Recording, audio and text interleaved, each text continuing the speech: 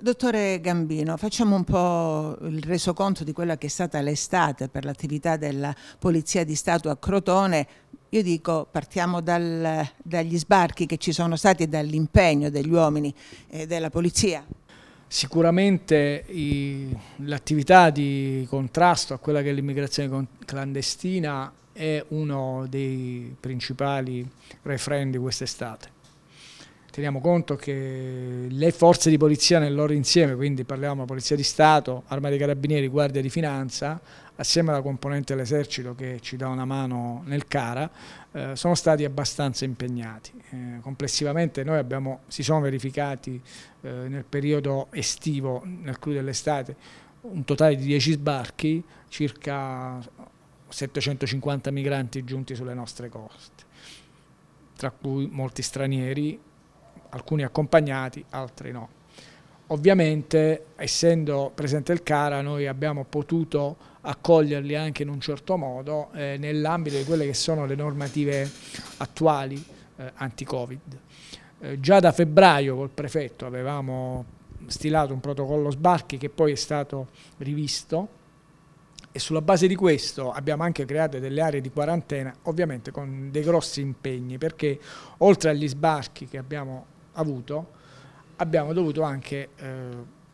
sopperire a quelle che erano le situazioni provenienti da, da altre realtà, quindi tunisini che sono stati portati qui da realtà siciliane, poi trasferiti eh, magari nei CPR, ad esempio in Puglia. Ultimamente abbiamo effettuato appunto uno degli ultimi trasporti di tunisini presso il CPR per il successivo rimpatrio. Quindi l'impegno su questo settore eh, è stato a tutto tondo abbastanza importante. Impegno che è eh, diciamo, diventato ancora più complesso e difficoltoso per il rispetto della normativa anti-Covid, quindi sia per la tutela innanzitutto degli operatori di polizia, ma ovviamente di tutti quegli attori che fanno parte eh, del sistema sicurezza sugli sbarchi, quindi stiamo parlando Croce Rossa, ASP, vigili del fuoco e quant'altro.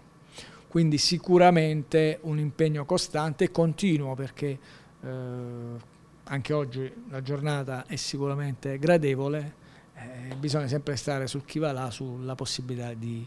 di questi arrivi. Purtroppo poi abbiamo dovuto registrare quest'estate, il 30 di agosto, un, un episodio eh, funesto con la, la morte di quattro migranti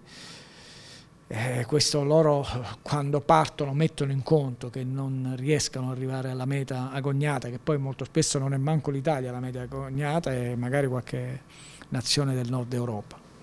È un fatto che è accaduto, su cui come ben sapete ci sono degli accertamenti in atto, eh, però è un fatto doloroso, dolorosissimo, perché quando si perde una vita umana, in questo caso sono quattro vite umane, sicuramente da, per tutti è una sconfitta.